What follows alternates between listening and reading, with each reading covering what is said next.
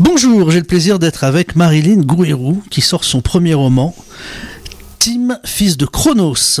Et Marilyn euh, sort son premier roman, c'est une jeune bauloise d'une trentaine d'années. Euh, vous nous emmenez complètement dans, la science-fiction et on va parler euh, de, ce livre qui est incroyable parce qu'il fallait d'abord commencer à penser à, à, mettre en place un tel scénario. Mais on va en parler dans, dans un second temps. D'abord sur votre histoire, euh, comme je l'ai dit, vous avez une trentaine d'années. Il y a quelques années, vous avez été victime d'un AVC. Hein, oui, tout à fait. Euh, qui vous a paralysé finalement une partie de votre corps, le côté droit. Voilà. Paralysé du côté droit, c'est une hémiplégie, oui. Et en plus, vous étiez sportive, c'était oui, votre métier. Oui, j'étais éducateur sportif euh, bah, avant. Et puis effectivement, j'ai dû arrêter parce que j'étais déclarée inapte au travail pour ce poste. C'est une évidence, oui. Voilà. voilà. Euh, depuis, il y a eu cette phase de reconstruction. Vous ne pouvez toujours pas vous servir de la partie droite de votre corps. Oui. Mais en tout cas, j'ai une jeune fille souriante en face de moi, euh, qui est arrivée même en scooter, ce qui m'a surpris. Alors là, je, euh, ça se passe bien. Oh. Oui, oui, ça se passe très bien. Je veux dire, euh, j'ai fait un contrat pro après euh, l'AVC ouais. en ressources humaines. Euh, Aujourd'hui, certes, je suis au chômage, mais j'en ai profité pour écrire euh, bah, ce livre. Et puis, je fais encore beaucoup de sport du sport ouais. nautique, mais du sport quand même. Donc ça va, tout va bien. Ça vous empêche pas de réfléchir et de cogiter, Marilyn Gouérou, et de sortir euh, ce premier livre. Vous travaillez même sur un second, et puis oui. ensuite même sur un troisième livre. Oui. Alors, euh, le livre est publié chez Eddy Livre, euh, et on va parler de cette idée. La première idée que vous avez eue, c'est nous raconter dans cette fiction, euh, fiction contemporaine, qui se déroule comme si Hitler avait gagné la Seconde Guerre mondiale. Exercice très périlleux euh, et vous en êtes remarquablement bien sorti. Qu'est-ce qui vous a donné euh, cette idée? Peu travailler d'abord en fait. Il y, a, il, y a, il y a plein de, de choses qui m'ont donné l'idée. Déjà, j'avais lu le livre de Eric Emmanuel Smith, La part de l'autre, où Eric Emmanuel Smith euh, avait imaginé euh, que Hitler euh, avait réussi le concours des beaux-arts et du coup, la guerre n'a jamais eu Hmm. lieu. Après, il y a plein de choses comme... Ça, de- c'était drôle, c'était putain. Oui, c'était très bien. Je pense qu'on aurait dû lui donner son diplôme hein, des aux Beaux-Arts et en faire Ça un grand peintre. Ça aurait été On aurait beaucoup mieux. évité quelques millions de gens, Quelques quelques, millions millions, de morts, oui. Euh, ensuite, je suis effectivement de confession juive, donc c'est vrai que euh, bah, ma famille, enfin en particulier mon grand-père, m'avait pas beaucoup parlé de, de, la Seconde Guerre mondiale et de, bah, de certaines choses. Ma grand-mère moins parce que c'était plus secret pour elle, mais c'est vrai que c'est quelque chose qui m'a, c'est une période de l'histoire qui m'a quand même pas mal marqué que j'ai connu mmh. grâce à mes grands-parents.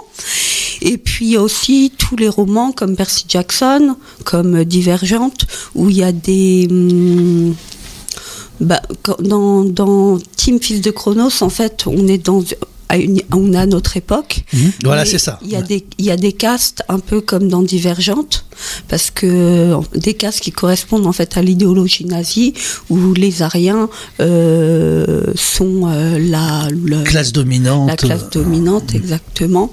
Et puis euh, quand plus on, plus on, moins on a de signes d'arianisation, plus on a on n'a pas accès à des postes importants et on est euh, on est en fait les serviteurs des. Ouais, vous êtes des, très attiré par la science-fiction. C'est un ouais. peu le film Divergente où ouais, il y avait des castes différentes. Sachant que dans le Divergence, les castes n'étaient pas sous plus. Oui, il y avait pas. C'était, on, on, leur faisait croire qu'il y avait une égalité, mais il y avait quand même une classe dominante.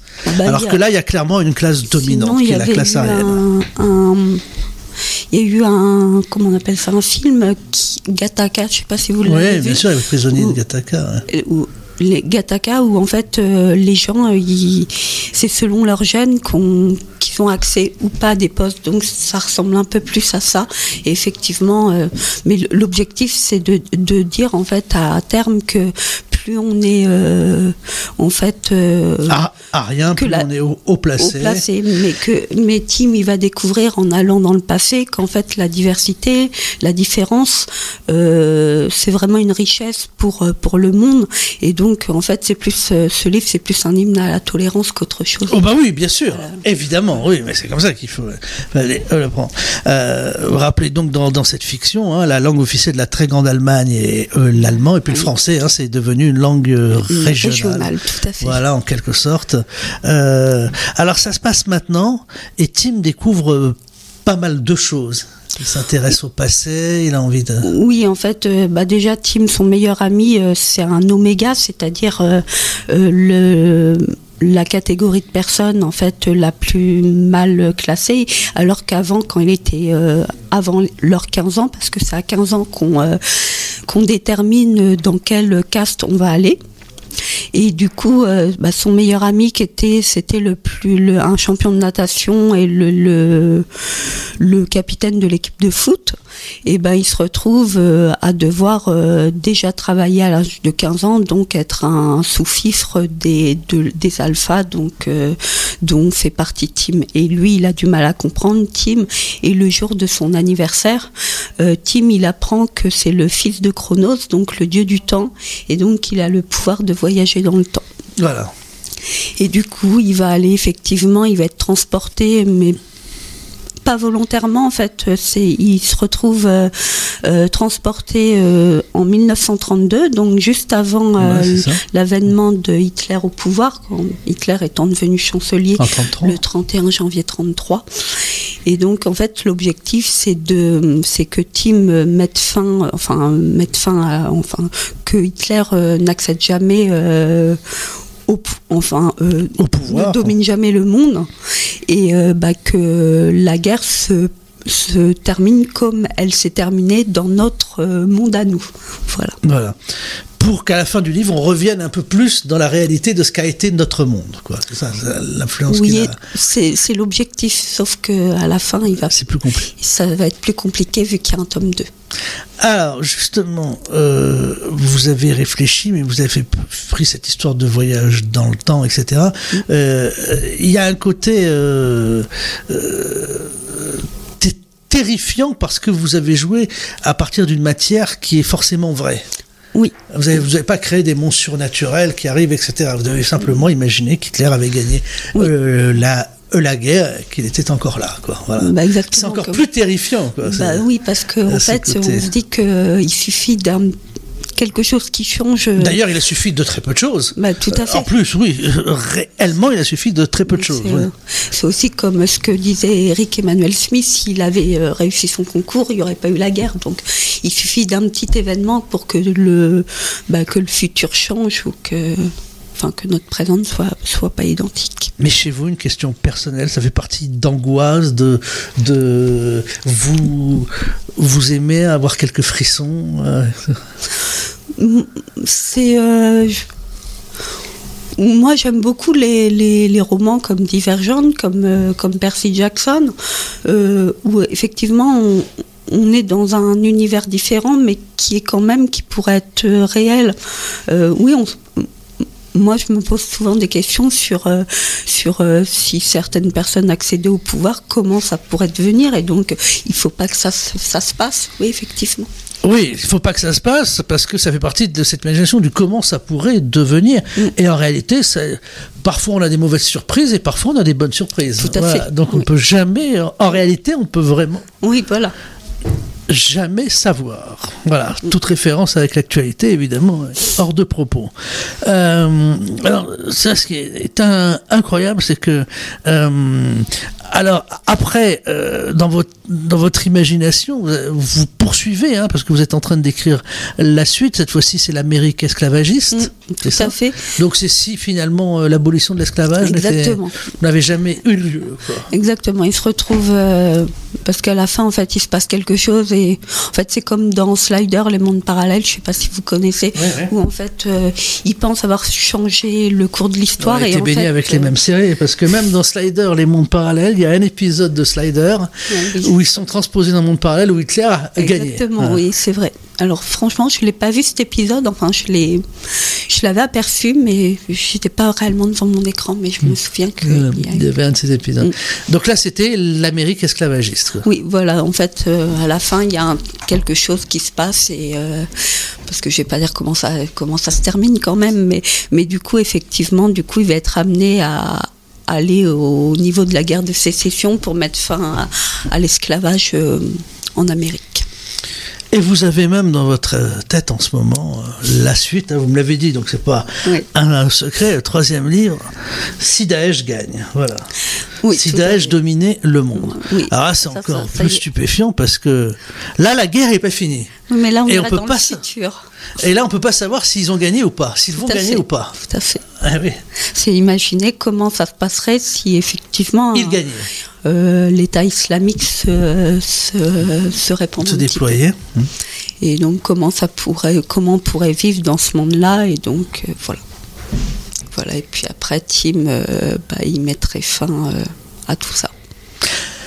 Ce qui est, vous avez créé dans votre monde votre propre personnage, votre héros, quoi, votre Superman, alors que vous auriez pu garder une crédibilité de fiction euh, en travaillant autrement. Alors là, vous avez amené le super-héros, euh, le voyage dans le temps, qui rend un côté un peu plus, j'allais dire, un peu plus Marvel, un peu plus bande dessinée à l'univers que vous nous décrivez alors que vous auriez pu rester simplement dans décrire un monde euh, si Hitler a gagné en, en 2016 avec des résistants qui s'organisent euh, contre le régime nazi qui domine l'Europe. Vous auriez pu rester dans ce semblant de réalité. Vous n'avez pas voulu. Non, non. Alors un, ça c'est parce que euh, je suis pas un grand lecteur de choses très sérieuses. Je suis plutôt, je lis beaucoup plus du Harry Potter, Percy Jackson, ce genre de choses. Donc c'est vrai que j'étais plus sensible à ça.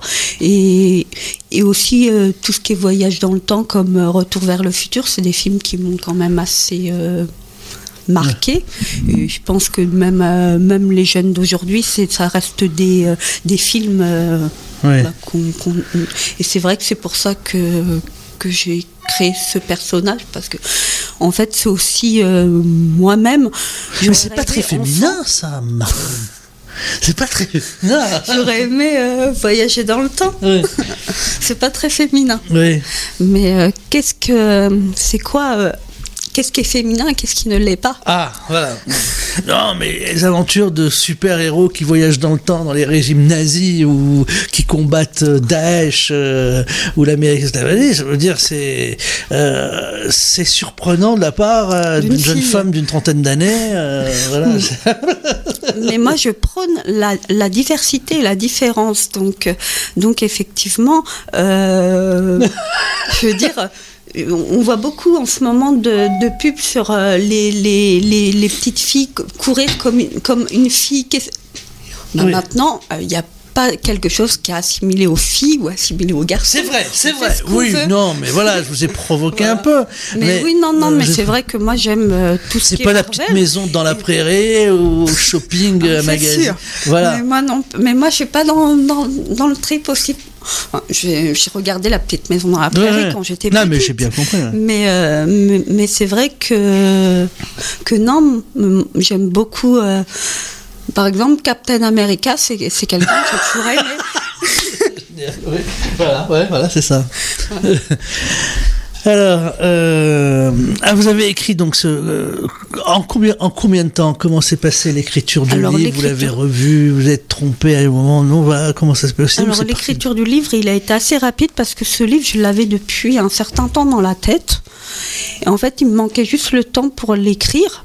Et bah après mon contrat pro, euh, donc qui se terminait le 31 juillet, bah je me suis dit autant profiter de ce moment euh, de chômage pour écrire. Donc j'ai mis un mois, un mois et demi pour l'écrire réellement. Puis après, oh euh, après ma mère m'a relu et puis elle m'a donné des, des, conseils. Mais et puis on, on l'a envoyé à une maison d'édition euh, dès le mois d'octobre. Donc c'est assez rapide. Et le retour après, comment ça s'est passé de l'éditeur de... Il y a eu plusieurs retours de plusieurs éditeurs. Moi, j'ai préféré prendre un éditeur où, on- où- où qui ne nous demandait pas de financement. Parce que, voilà. Oui, oui, mais un vrai, quoi. Un vrai, oui. Sinon, le reste, ça s'appelle de l'auto-édition. Voilà. Euh, quand vous avez le livre entre les mains, qu'est-ce qu'on a comme sensation? Là, je l'ai amené. bah, c'est. euh, Il y a quelque chose- Oui, c'est. Bah, c'est. euh, C'est valorisant, il y a... Bah, c'est comme un bébé, donc euh, oui, Ouais. on, est, on est content. Et puis c'est palpable, c'est pas comme quand on l'écrit ou euh, c'est des feuilles. Là, il y a, il y a la couverture, il y a, il y a tout. Donc oui, c'est quand même assez. euh, ouais, c'est valorisant. C'est Et puis, excitant, quoi, il y a quelque puis ouais, il y a un côté, ouais, un côté voilà excitant. Et puis. Puis c'est un peu une renaissance en quelque sorte parce que c'est quelque chose que j'aime vraiment alors que comme le sport euh, alors que quand j'ai fait euh, mon contrat pro c'est pas forcément quelque chose que Évidemment, j'aime beaucoup donc voilà Et peut-être que si vous n'avez pas eu votre AVC, vous n'auriez pas fait cet ouvrage. Vous Je pense pas, effectivement. J'aurais continué le sport même si euh, aujourd'hui j'en fais encore beaucoup mais c'est vrai que que je pense que je l'aurais jamais écrit parce que je serais restée euh, je serais restée dans le sport et pas imaginer Hmm. des, des mondes différents c'est sûr Eh oui. Euh, Marilyn Gouérou. Alors là, au cours des prochains mois, là, donc vous, donc vous travaillez dé- déjà sur euh, le second. sur le second Euh, voilà, en tout cas le premier est édité, 196 pages. Il commence à être distribué dans toutes les librairies. Vous êtes bauloise, Mm. euh, Marilyn. Euh, ce roman, euh, bah, je lui souhaite déjà beaucoup de succès. Vous nous emmenez dans votre univers. Euh, si Hitler avait gagné la Seconde Guerre mondiale à travers Tim, fils de Chronos, de Marilyn Gouirou. Alors je rappelle pour ceux qui nous ont rejoints en cours d'entretien que vous êtes une jeune Bauloise d'une trentaine d'années et qu'il y a quelques années vous avez été victime d'un d'un AVC euh, qui vous a paralysé euh, toute la, partie droite, donc vous êtes handicapé. Et malgré ça, ben, c'est un beau message de, euh, de partage, d'amour, de tolérance, vous nous lancez, parce Oui, que on découvre une jeune fille euh, voilà, qui, malgré son handicap, euh, est souriante. Vous êtes venu en pleine forme. voilà, malgré le. Voilà, vous imaginez qu'il y a cette partie droite du corps qui doit qui est paralysée, vous ne pouvez rien faire de votre bras, de votre main, etc. Il y a toute la partie gauche qui, elle, fonctionne. Mais croyez-moi, côté cerveau, sourire, luminosité, re- re- regard, là, on a l'intégralité. Voilà. Merci. Et ça, c'est, ça, je souhaite beaucoup de succès à ce livre. Non pas parce que vous êtes handicapé, parce qu'il est sympa, votre livre. Bah, c'est la meilleure de toutes les, de toutes les raisons. Voilà. Eh bien, j'espère qu'on aura l'occasion de vous croiser aussi, que les auditeurs aussi auront l'occasion de vous croiser dans des séances de dédicaces. Marilyn Gouérou, donc Tim, fils de Chronos, chez Eddie Libre. Merci d'être venu, je Marilyn. vous remercie merci à vous